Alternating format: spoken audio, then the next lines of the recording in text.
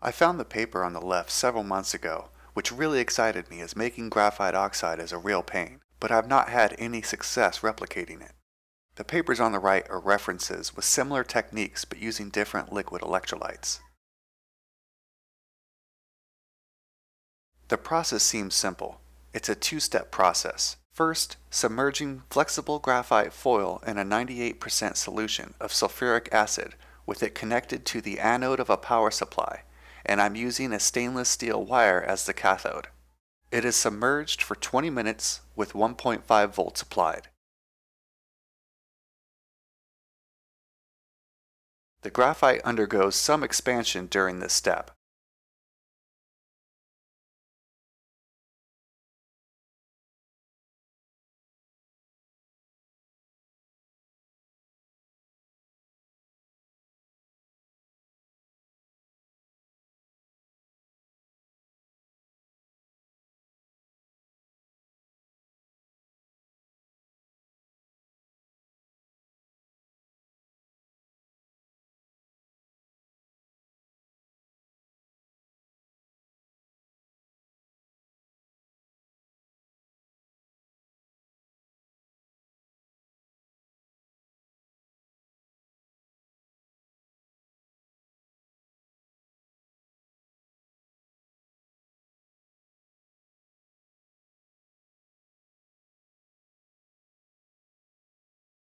After that, the graphite that was submerged should have a blue coloring, which I never achieved. The graphite is then pressed to remove excess sulfuric acid, then it's submerged in 50% solution of sulfuric acid and water. It is connected in the same way as the first step, but now has 5 volts applied.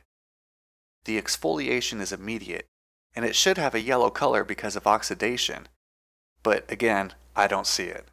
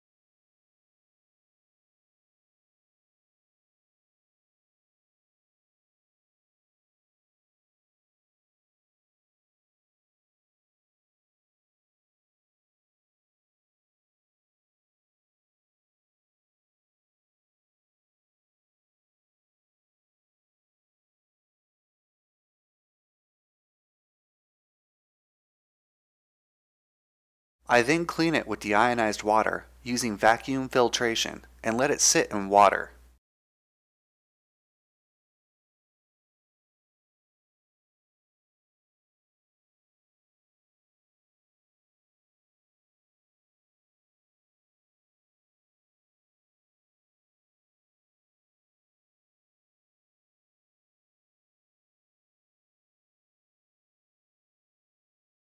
As you can see, it's obvious that there is no graphite oxide on the right compared with the graphite oxide I made using a modified Hummers method on the left.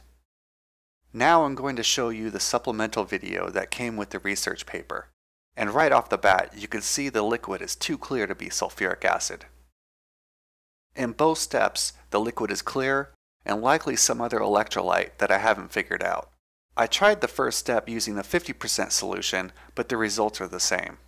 At this point, I don't know if I'm doing something wrong or the authors haven't been truthful.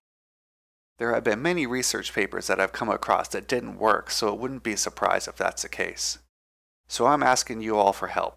If anyone can comment on what I did wrong or have any ideas what I can try, I would greatly appreciate it, and I will make a new video if there's any progress.